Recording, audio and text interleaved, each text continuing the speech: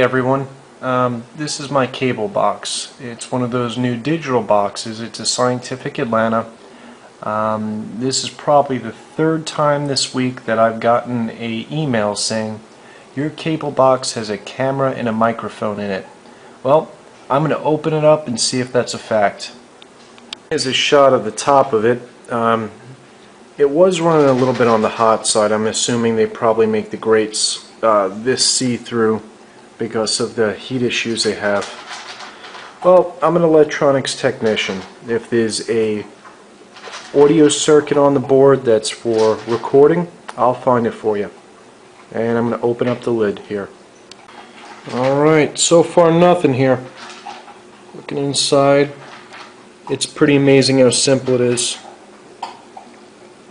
There's a card in there. Okay, the digital tuner here um, looks a little beat up actually. I'm going to pull this apart and see if there's anything in there, but from the top side here, there's absolutely nothing in here that would uh, transmit audio. Not yet. Nothing in there. Just a tuning circuit. Very interesting.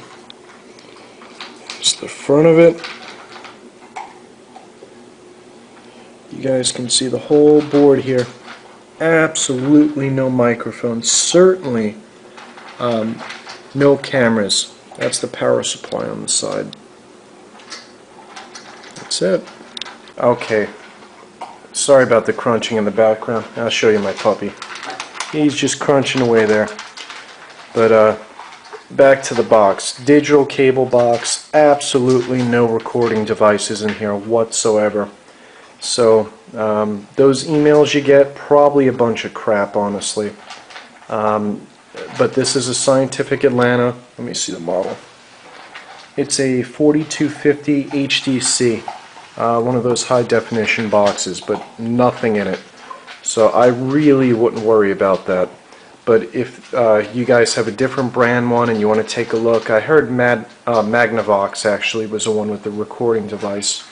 This one's certainly nothing. So let me know your findings. I hope this is helpful. And you guys have a good one. Bye.